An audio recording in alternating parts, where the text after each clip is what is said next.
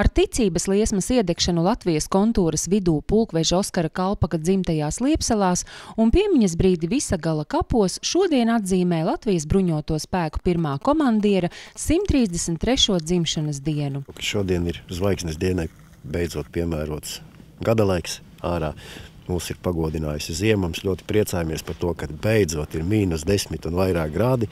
Spīd skaista saulīte, ir arī nedaudz sniedziņš. 1882. gada 6. janvārī toreizējā Meirānu pagastā iemirdzējās izcilā Latvijas valsts vīra Oskara Kalpakas požā zvaigzne, kuras īsais, bet spilgtais mūžs tika veltīts Latvijai. Šķiet pulkveža dzīves gājums ir ietverts saulē Kalpaka brāļa meitas Ārijas Kalpaks Grundmanes vārdos. Ticības liesma mūža mūžīgai latviešu Latvijai. Šogad šie vārdi skan īpaši simboliski. Sevišķi pēdējā gada notikumi, kas mūsu kaimiņu zemē Ukrainā norisinās, eh, nu, liek aizdomāties par to, ko savā laikā izdarīja tādi vīri kā Oskars Kalpaks.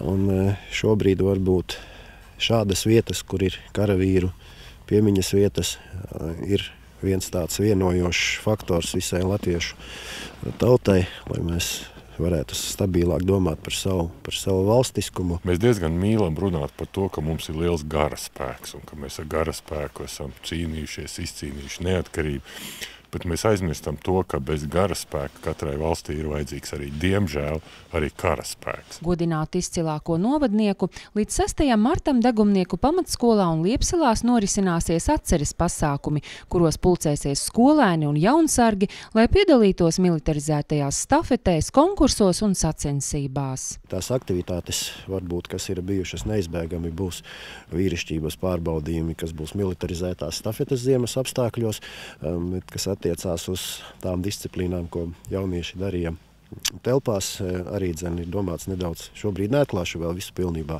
bet ir domāts nedaudz pamainīt, eh, lai neatkārtotos katru gadu praktiski viens un tas pats, lai būtu kaut kādas jaunas, jaunas ievirzes, bet arī dzen, gan patriotiskas, gan audzinošas, gan latviskumu izzinošas. Kalpaka vārds ir tūs Madonas un Lubānas novadu ļaudīm, jo īpaši skolās daudz runā par pulkveža ieguldījumu Latvijas armijas un valsts izveidē. Oskars Kalpaks mums visiem ir varonis, un viņš ir zvaigzne mums visiem skolā.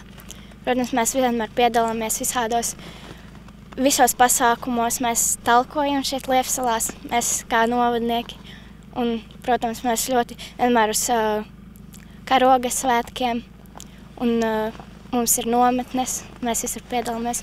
Mums viņš nozīmē mūsu gods un mūsu baronis viņš ir. Aizsardzības ministrija sadarbībā ar vietējo pašvaldību iecerējusi pilnveidot Liepsalas, iekopto vietu padarot vēl pieejamāku. Īpaši ziemā ēkām būtu vajadzīga apkure. Amatpersonas norāda, ka Liepsalas tiks veidotas kā jaunsargu pulcēšanās centrs. Ļoti labi, ka šī vieta var tikt e, izmantota jaunsardas vajadzībām, pat cik mēs arī ministrijā tagad ir pilnīgi jauna programma attiecībā uz jaunsardas attīstību ir valdības piešķirt līdzekļi šai jaunsardas attīstībai, un es domāju, ka tādai jaunsardas bāzei arī Liepsalai varētu būt savu, sava vietiņa šajā programmā. Dienas noslēgumā sarkanbalts sarkani ziedi gūla arī pulkveža atdusas vietā, kur Kārļa zāles veidotā pieminekļa pakājē arī jauniešu novietotās sveču liesmiņas mirdz mūžīgai Latvijai.